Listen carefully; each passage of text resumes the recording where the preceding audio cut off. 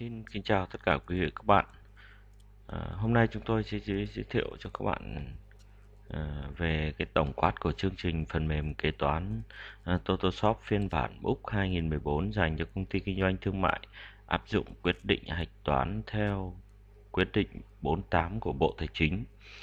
À, ở đây chúng tôi muốn nói đến là một cái kinh công ty kinh doanh thương mại và dịch vụ đơn thuần thì như các bạn biết là công ty kinh doanh thương mại là những công ty mua hàng hóa về rồi ờ, bán ra thị trường. Và những công ty kinh doanh dịch vụ thì thường là ờ, sản xuất ra một loại dịch vụ nào đấy và à, à, bán đi cái dịch vụ của mình. Tức là ví dụ như các công ty kinh doanh vận vận tải thì người ta à, đấy là những công ty kinh doanh về dịch vụ những công ty kinh doanh về cái dịch vụ thì thường có cái cái cái đặc thù là toàn bộ chi phí của uh, của cái phần uh, uh, chi phí bỏ ra cho doanh nghiệp thì khi liên quan đến lĩnh vực dịch vụ thì một là cái phần chi phí tài chính hai là chi phí chi phí quản lý ba là chi phí bán hàng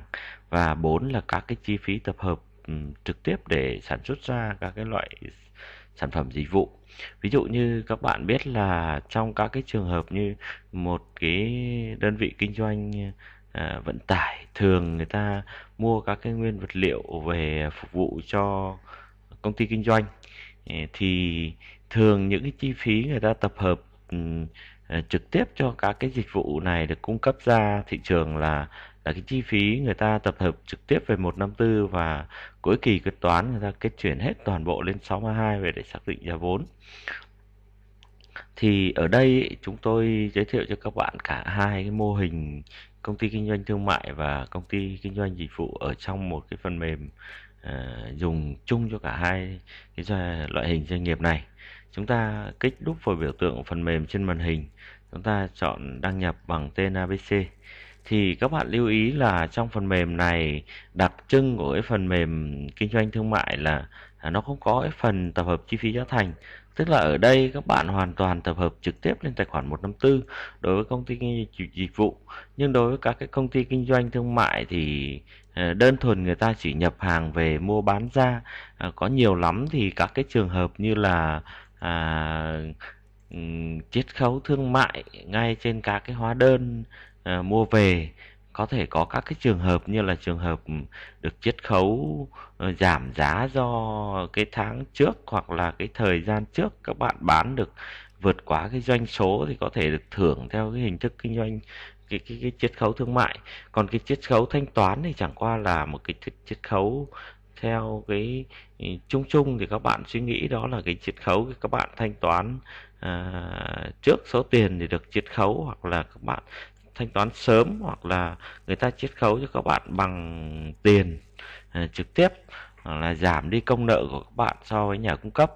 Như vậy chúng ta thấy là à, đầu tiên là các bạn nhìn thấy là một cái phần mềm à, thiết kế rất là dễ nhìn. Các bạn có thể thấy các cái thư mục ở, ở cột bên trái là cái thư mục lớn nhất là cái thư mục về, đầu tiên là khai báo hệ thống thì các bạn lưu ý là ở trong này có rất nhiều các cái chức năng. Cái chức năng thường hay sử dụng của các bạn là cái chức năng à, quản lý bảo trì số liệu trong này có cái chức năng bảo trì kiểm tra số liệu mỗi, mỗi khi phần mềm bị lỗi thì các bạn có thể sử dụng cái chức năng này. Và cái chức năng quản lý người sử dụng thì thường sử dụng để quản lý khi mà một doanh nghiệp có nhiều đối tượng ừ, làm kế toán và các bạn biết là à, kế toán vật tư thì riêng mà kế toán à, thanh toán riêng thì các bạn có thể thấy là sử dụng cái quyền ừ, phân quyền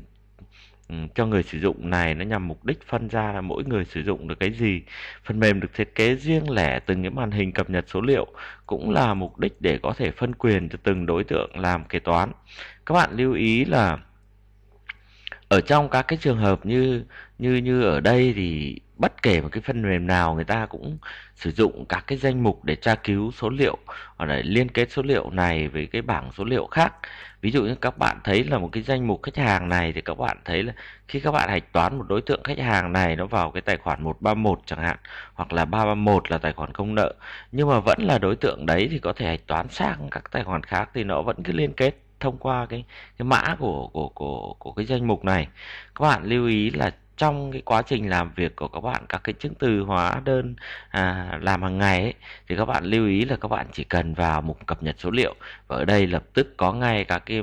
cái cái cái mà ờ, thư mục nhỏ. Các bạn thấy bên này có các cái chức năng để sử dụng. Vậy thì các bạn hiểu đơn giản là khi chúng ta cập nhật chứng từ tiền mặt tiền gửi thì các bạn thấy ở đây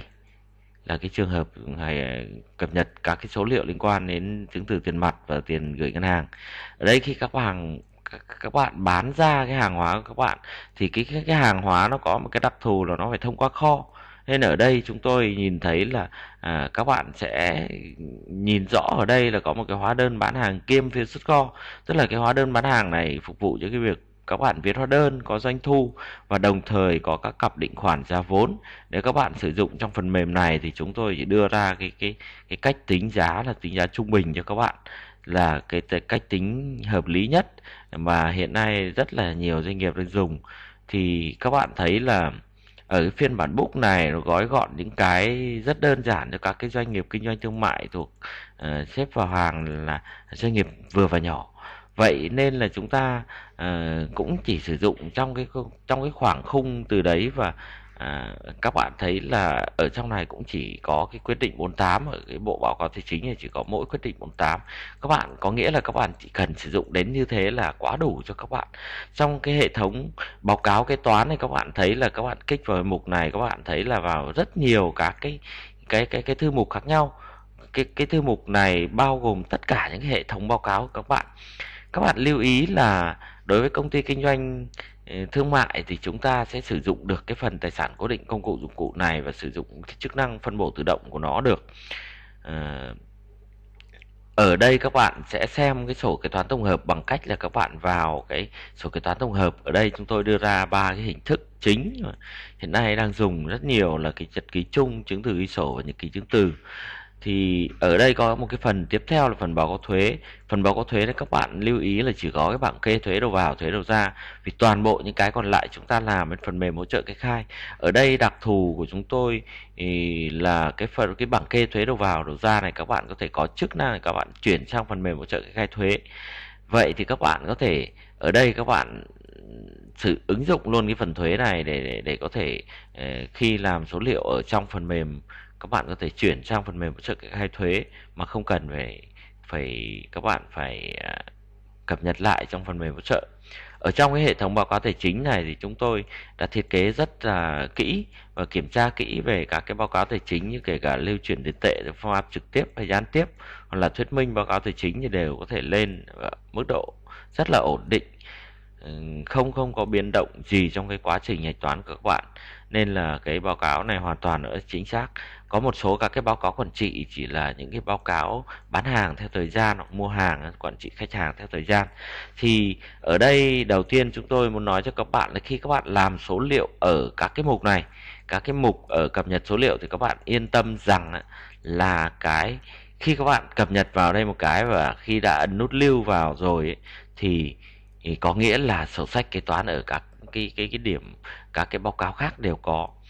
Chúng tôi giới thiệu rất kỹ cho các bạn ở chỗ này các bạn có thể thấy này, chứng từ kế toán tổng hợp. Thì ở đây các bạn biết là chứng từ tổng hợp này nó sử dụng một cái phiếu kế toán. Về nguyên tắc là cái phiếu kế toán này các bạn hiểu kỹ là cái phiếu kế toán này hạch toán được tất cả các cái bút toán trung gian.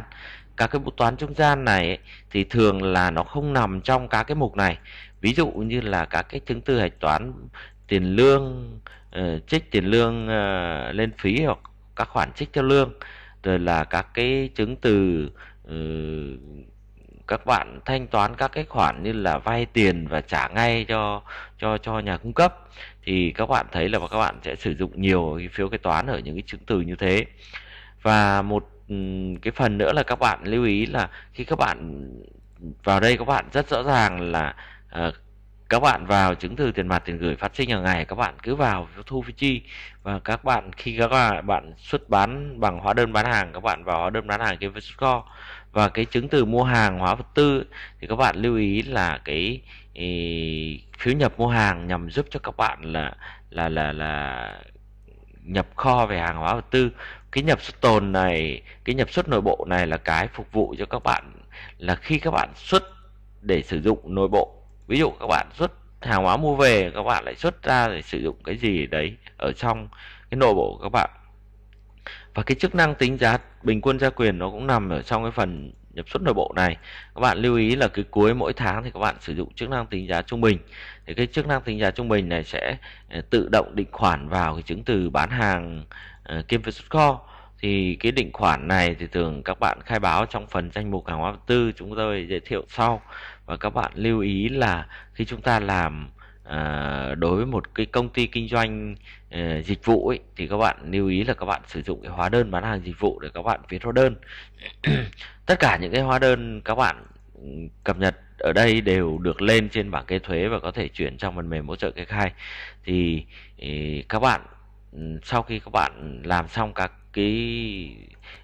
chứng từ trong phần mềm hoặc là các bạn sử dụng không còn sử dụng nữa thì các bạn nên thoát phần mềm ra. Vì khi các bạn thoát chương trình phần mềm ấy thì có nhiều cái ví dụ như tôi nói là à, các bạn để phần mềm như thế và các bạn à, đi đâu đó một tí thì các bạn sẽ thấy là à, Ờ, tự nhiên có ai vào thấy nhìn thấy phần mềm có, có thể có thể sử dụng phần mềm và xóa đi các chứng thử của các bạn. Thì cho nên là khi các bạn không dùng phần mềm nữa các bạn phải thoát ra khỏi phần mềm. Và sau khi thời gian làm quen với phần mềm thành thạo thì các bạn phải đặt mật khẩu khi vào phần mềm thì đảm bảo cái việc an toàn số liệu cho các bạn. À, xin cảm ơn các bạn.